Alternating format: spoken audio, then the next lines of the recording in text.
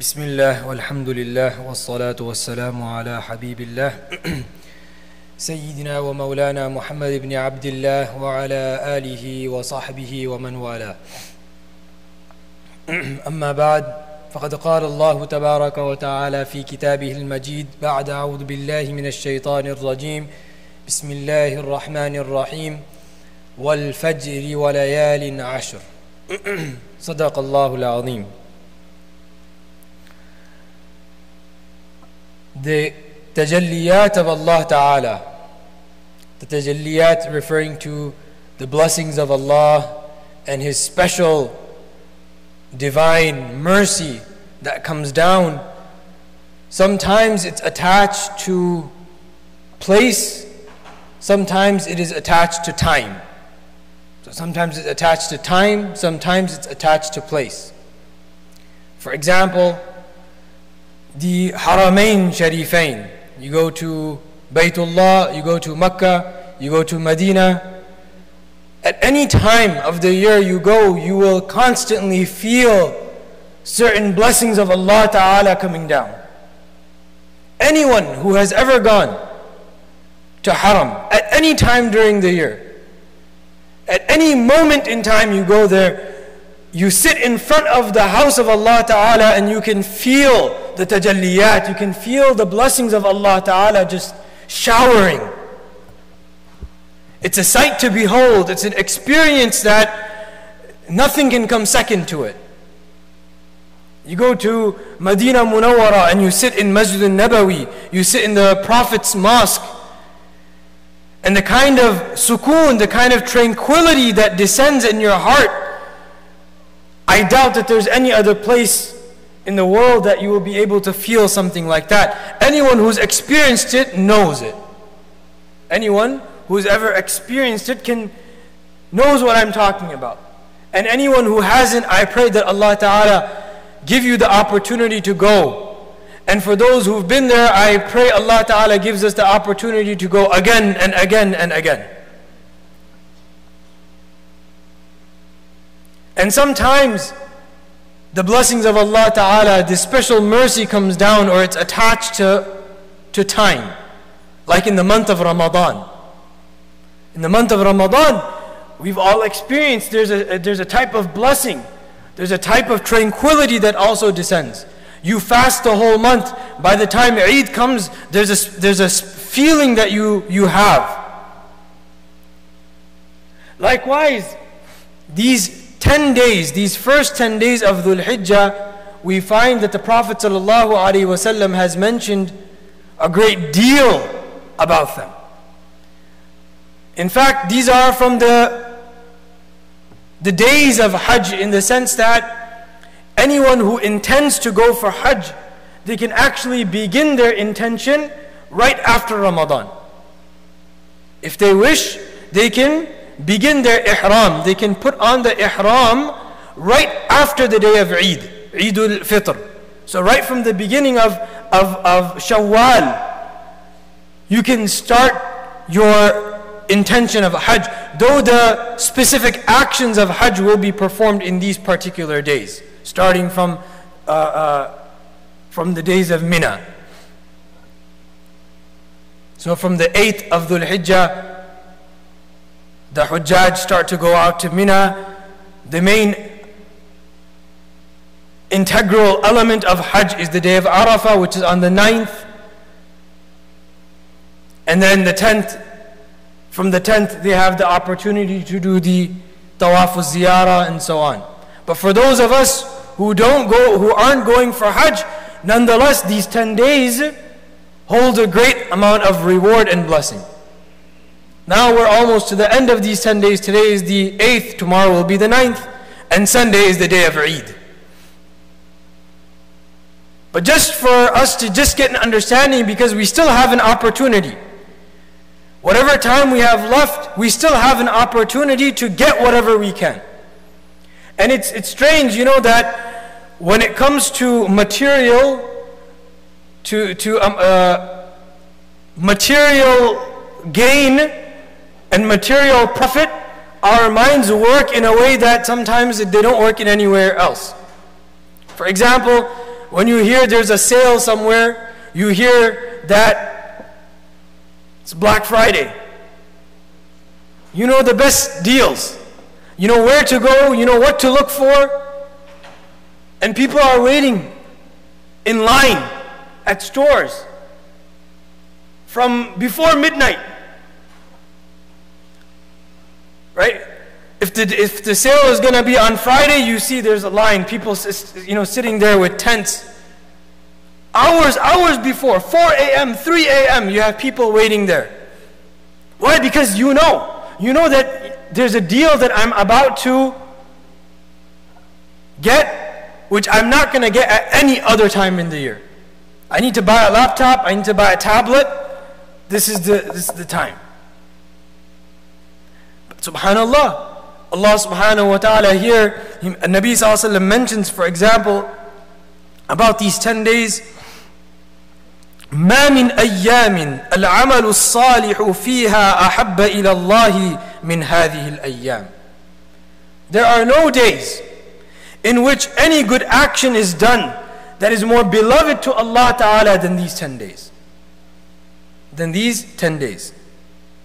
Nabi Sallallahu said, فَأَكْثِرُوا فِيهِنَّ مِنَ التَّسْبِيحِ وَالتَّحْمِيدِ وَالتَّهْلِيلِ وَالتَّكْبِيرِ So, engage.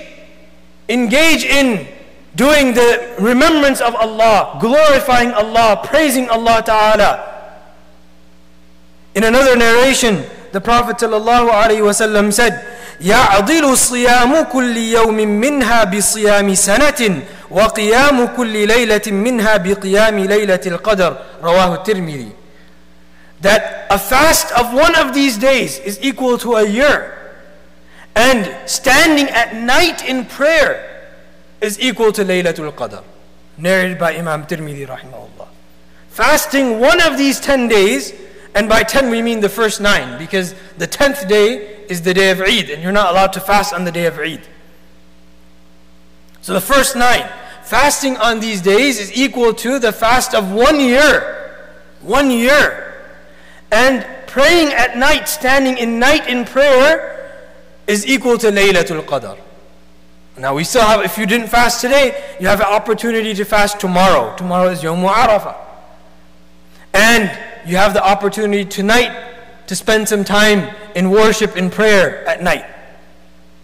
Subhanallah, this is the Prophet ﷺ who has a direct connection from Allah Ta'ala. Which, by the way, I want to kind of, I guess, go on a tangent here, but you have to recognize that when you hear about these rewards, whether it's related to Ramadan, whether it's related to you know these 10 days, or whether it's related to the uh, uh, night prayer, or whatever it may be, Right? It comes in a hadith that when a person prays tahajjud at night, that the mercy of Allah Ta'ala is the closest at that time. And Allah Ta'ala declares, Is there anyone who wants rizq that I may give him rizq? Is there anyone who seeks my forgiveness that I forgive him? And about fasting and about all of these things, whatever the Prophet ﷺ said, recognize that he is the messenger of Allah. He has a direct connection with Allah Ta'ala. He's informing you about things that you and I do not have access to. Similarly, when the Prophet ﷺ tells us about death, or when the Prophet ﷺ tells us about paradise, or about hell, or what will happen after death, what will happen in the grave, these are things that you cannot simply, this is not knowledge and information that you can simply acquire through your senses. They're not related to empirical sciences. They're not related to, you know, testing a hypothesis and coming up with a conclusion. This is information that's coming to you from wahi. The Prophet ﷺ has a direct access to Allah Ta'ala. Allah Ta'ala informs him of these things. Nabi ﷺ then tells the ummah about these things. If, for example, the Prophet ﷺ says that after a person dies, this will happen, and this will happen, and this will happen. Or on Yawm al Qiyamah, this will happen. For example, it comes in a hadith, I believe in Tirmidhi, that on Yawm al Qiyamah, the sun will be so close, tudna shamsu Yawm al Qiyamah. It will be so close that perhaps it will be a distance of a mile. And the narrator says, I don't know what is meant by a mile. Because in Arabic, the word mile could be used for the distance of, of a mile, or mile is also used for the stick that's used in in a bottle of, of kuhl. Or like for example an itr bottle, the stick that you have that you use, that's also called meal. And so the Rawi says, I don't know what was meant by meal. Is it meant by a meal, a mile, or the distance of that small stick? And on that day, Nabi also mentions that a person will sweat, some according based on their sins. Some will be sweating to their ankle, some to their waist, some to their, their chest, some will be drowning in their sweat. And on that day, there will be no shade except for the shade of Allah's throne. سبعة يظلهم الله في ظله يوم لا ظل إلا ظله Seven individuals, seven categories of individuals will find shade under the throne of Allah Ta'ala. And Nabi Sallallahu begins to list those seven individuals. The point I'm trying to make is these things, we, there's no way we could have accessed that information. This is a favor of Allah Ta'ala on us that Allah Ta'ala through the messenger of Allah, through the messenger Allah Ta'ala informs these things to us. Same thing, the reward of these things. You may not see the effect of that. You may not see the reward of that in this world. But if the Prophet ﷺ, as-sadiq al-masduq, the one who spoke in the truth and who only speaks the truth, if he's told you this information, then there's no doubt about it. There's no reason to doubt it. Now, you may not see it in this world, you'll see it in the hereafter. A reward of this action will be like this, or the reward of that action will be like that or the punishment of this type of sin is like this, or the punishment of that sin is like that. You may not see it in this world, though there are always affects any good deed that a person does, any good deed a person does, there's always an effect of that good deed. Either you'll see it in yourself, you'll see it around you, you'll see it in your children, and anytime a sin is committed, there's also an effect of that sin. Whether it's related to you or whether it's related to your family or your wealth, whatever it may be, there's always some sort of effect. For example, Allah Ta'ala mentions in Surah Al-Kahf that when Musa alayhi and Khadr alayhi were, were going, one of the things that Khadr alayhi did was he chose to reconstruct a wall that was built. And Musa alayhi asked him why. And one of the things that Khadr salam had told him was, You're not allowed to ask me any questions. You're not allowed to object to anything I do. You're not allowed to ask any questions. And so this was the last and final straw. And he said, Look, هذا فراق بيني وبينك. This is it. This was the last opportunity you had. You asked. And let me tell you why I did what I did. And when it came to the explanation of why he reconstructed that wall, he said, underneath it there is some wealth that's buried.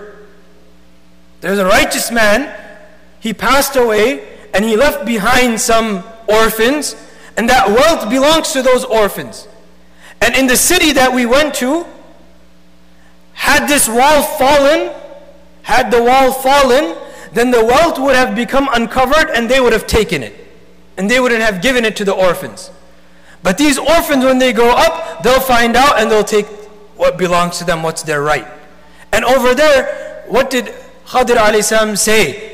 كان أبوهما صالحا فأراد ربك أن يبلغا أشدهما ويستخرجا كنزهما رحمة من ربك That their father was righteous, their father was pious, and because their father was pious, we decided to take care of these children. Your actions do have an impact. Either they will affect you, they will affect your children, they may affect your wealth. Sometimes you're not able to see it. Sometimes Allah Ta'ala reserves those effects for the hereafter. So now going back. These actions, these things that the Prophet ﷺ said, this is sahibul wahi. An individual who has access to information from Allah Ta'ala, he's informing you. That if these 10 days hold this type of this type of reward, then they definitely hold this type of reward. And when you do whatever action you do, do it with the certainty that I will get reward from Allah Ta'ala. Don't do it thinking, maybe I get the reward, maybe I don't get the reward. When you do any action, do it with this yaqeen, with this certainty in mind that I will get the reward for it. I hope and I expect reward from Allah Ta'ala for it. When it comes to, for example, the fasting and, and prayer regarding Ramadan, Nabi Sallallahu had mentioned at that time, Man sama Ramadana, or man qama Ramadana imanan wahtisaban. You expect reward from it. Whenever you do any action, expect, Ya Allah, I'm doing this action for your sake. And Ya Allah, I expect reward for this. I hope for reward for this. Not that, and, and, we ask Allah then, Ya Allah, please give me reward for this. Ya Allah, through this action, forgive my sins. Ya Allah, through this action, give me reward. Ya Allah, through this action, allow me to enter into paradise. Make that dua. Don't be, Ya Allah, Nabi also mentioned this in a narration. He said, when you do an action, or when you make dua, don't make dua like, Ya Allah, if you want to forgive me, then forgive me. Ya Allah, if you don't want, don't make dua like that. Make dua with, with, with determination. Ya Allah, forgive me. I want your forgiveness. And do actions that show you want Allah's mercy and Allah's forgiveness. There are people who do certain, who, who just hope from Allah Ta'ala. Nabi Sallallahu said,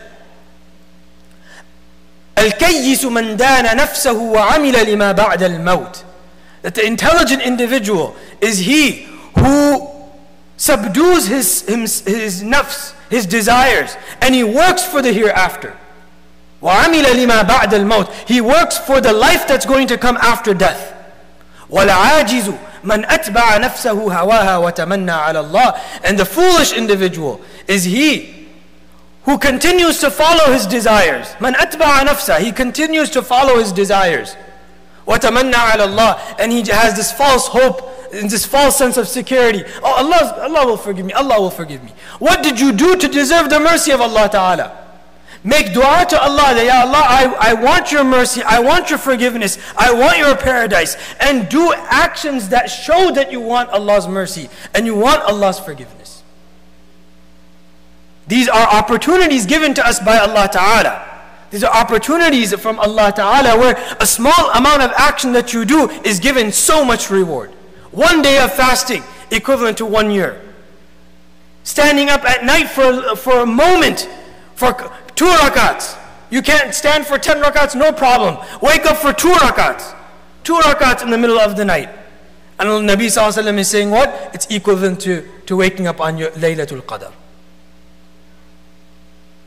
Likewise now, with the day of Eid coming, the greatest action that Nabi Sallallahu taught us on the day of Eid for anyone who's able to is to sacrifice an animal. Udhiyah. If you are able to, one who has the financial means, then go ahead and with your own hands sacrifice an animal. In a hadith, the Prophet ﷺ said, ما عمل آدمي من عمل يوم النحر أحب إلى الله من إهراق الدم. There's no action on that day, on the day of Eid, that is more beloved to Allah Ta'ala than sacrificing an animal. Right? Because you're doing it all for the sake of Allah Ta'ala. You're doing it all at the order of Allah Ta'ala. That's the key element here. You look at the, the actions of Hajj, or you look at any other actions. What's the key thing that Allah Ta'ala is looking from you? Are you submitting yourself to Allah or not? He's the one who created you. Are you submitting yourself to Allah or not? Somebody can say, well, what's the point? What's the point of sacrificing? Or you look at the different actions, the various actions of Hajj. You're going from Mina to, to, to Arafah, then from Arafah you're going to Muzdalifah, and then from Muzdalifah you come back, you have to do Tawaf Ziyarah, you have to go around the Kaaba. So, what, is there any logic behind it? There is no need for logic. The idea is Allah commanded, we do it. Allah commanded, we do it. That's the point. Why is it that these actions, why is it that the stories of the Prophets والسلام, are there in the Quran forever until eternity? The story of Ibrahim السلام, and the sacrifices that he made. It was what? All of them are a representation of his sacrifice and his submission to Allah Ta'ala. We don't ask, why, why, why do I do this? Why, why do you do that? Why do I have to go from Mina to Arafah and from Arafah to Muzdalifah, from there to there on the days of Hajj? Why do I have to sacrifice an, an animal? Allah Ta'ala commanded, لَن يَنَالَ اللَّهَ لُحُومُهَا وَلَا دِمَاؤُهَا وَلَكِنْ يَنَالُ التَّقْوَى مِنْكُمْ It's a taqwa, it's a submission. It's the idea that I don't prostrate to anyone. I don't do sajda to anyone except Allah Ta'ala. And this one sajda saves me and protects me from doing sajda to anyone else. That's the idea, it's a submission. My grandfather, rahmatullahi alayhi, very often he used to say at the end of uh, prayer, after he would be done with prayer, he would quote uh, Allama Iqbal. And one of the lines that he used to say very often, just listening to him quite often, I end up memorizing it was, ये एक सजदा जिसे तू गिरा समझता है हजार सजदों से तुझे नजात देता है This one sajda that you consider insignificant this one sajda, this one prostration, which you consider insignificant, saves you and protects you from bowing down to a thousand false idols. It's one sajda. What's the idea? Is submission. We are creation of Allah. We are created by Allah Ta'ala. Whatever Allah Ta'ala, He says do this, we do it. He says do that, we do it. So then on the day of Eid, make the intention. If you didn't make the intention already, make the intention on Yawmul Eid. If you have the financial ability, after the Eid prayer, after you're done performing the Eid prayer, then go and sacrifice with your own hand an animal. Nabi Sallallahu says, لا يقع من الله وإن الدم لا يقع من الله بمكان قبل أن يقع من الأرض that before the, the blood hits the earth Allah Ta'ala forgives the person already Allah Ta'ala forgives the person before the blood of the animal hits the ground. why? Why is that? Is because he demonstrated what? I submitted to you, Ya Allah. I submit to you, Ya Allah. إن صلاتي ونسكي ومحياي ومماتي لله رب العالمين. Allah Ta'ala give us the tawfiq, inshallah. وآخر دعوانا الحمد لله رب العالمين.